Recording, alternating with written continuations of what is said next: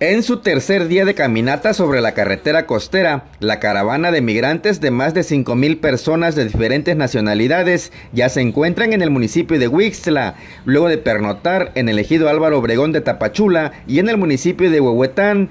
Este miércoles llegaron a Huixtla desde muy temprano, Ahí el dirigente de la denominada organización Pueblos Sin Fronteras, Irineo Mújica, ante diversos medios de comunicación, expresó que lamenta cómo el Instituto Nacional de Migración oferta los trámites migratorios al mejor postor, brindando preferencias a migrantes de otras nacionalidades como venezolanos, cubanos, entre otros, a quienes les proporciona transporte para llevarlos a la capital chiapaneca y hasta el centro del país, ignorando a migrantes centroamericanos, comentó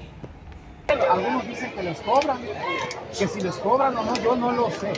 Pero, o sea, el Instituto Nacional de Migración, ¿por qué no hacerlo visible? Si les está dando autobuses, pues que les dé los autobuses a todos o que les dé papeles a todos.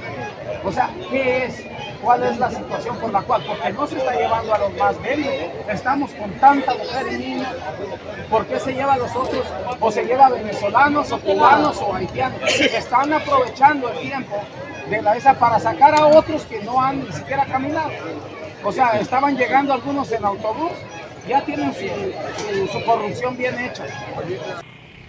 Se dijo que los miles de migrantes permanecerán en la ciudad de La Piedra hasta que la autoridad federal los atienda. Por lo pronto, se encuentran ubicados en el domo deportivo del barrio Guadalupe. Cabe señalar que personal de auxilio y policíaco se encuentran en el lugar resguardando la zona. Se dijo que en horas de la tarde del sábado realizarán oraciones para recordar a los migrantes fallecidos en la lucha por la búsqueda del sueño americano. Esto en el marco de las fechas de Día de Muertos.